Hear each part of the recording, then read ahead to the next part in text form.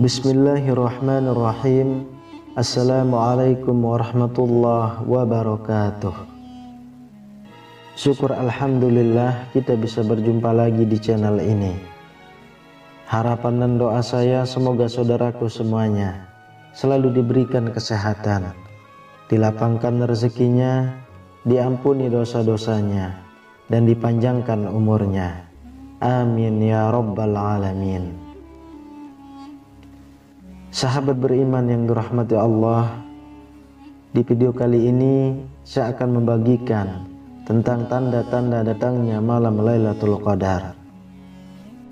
Lailatul Qadar adalah malam yang paling dicari oleh umat muslim.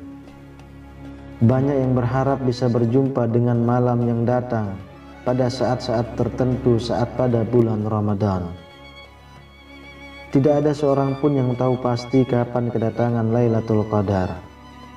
Namun Rasulullah Shallallahu Alaihi Wasallam memberikan sejumlah petunjuk tanda-tanda datangnya malam mulia itu.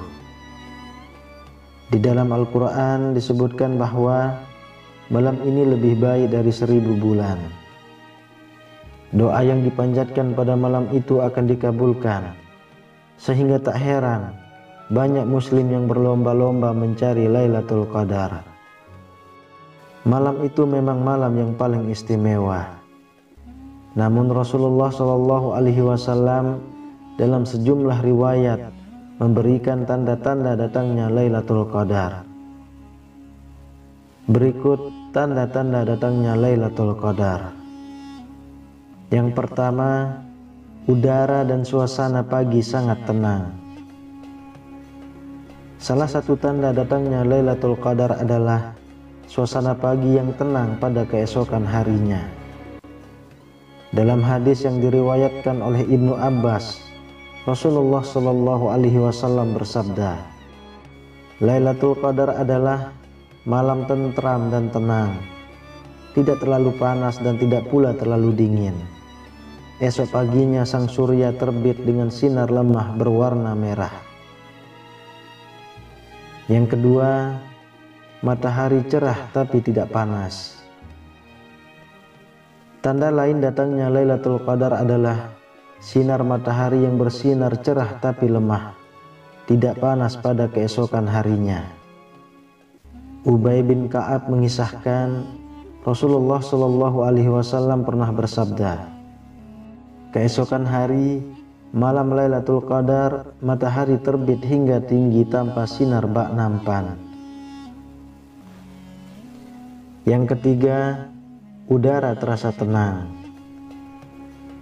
Dalam Al-Quran digambarkan bahwa Lailatul Qadar penuh ketenangan. Suasana malam Lailatul Qadar sangat berbeda dari malam-malam yang lain.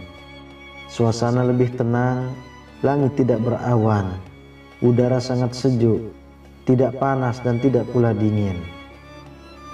Dalam sebuah hadis meriwayatkan, Lailatul Qadar adalah malam yang terang, tidak panas, tidak dingin, tidak berawan, tidak hujan, tidak ada angin kencang, dan tidak ada yang melempar pada malam itu dengan bintang.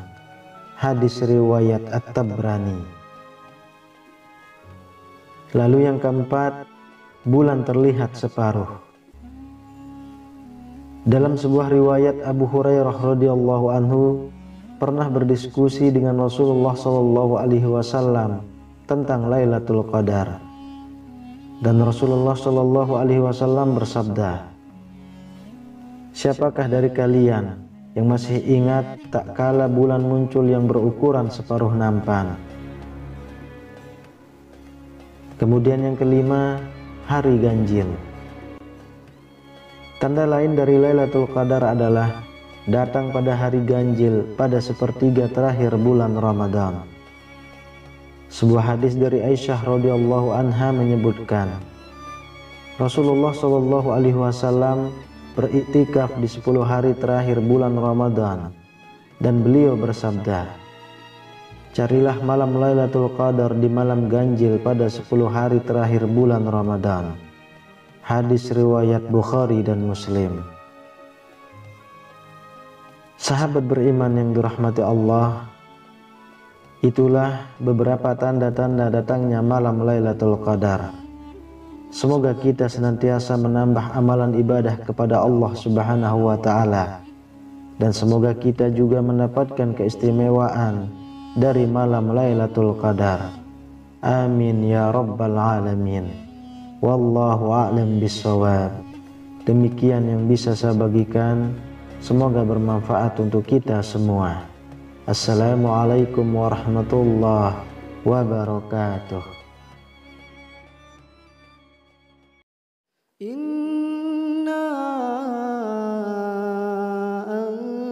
أنزلناه في ليلة القدر. وما أدراك ما ليلة القدر. ليلة القدر خير من ألف شهر. تنزل الملائكة والروح فيها بإذن ربهم أمر سلام. سلام هي حتى مطلع الفجر.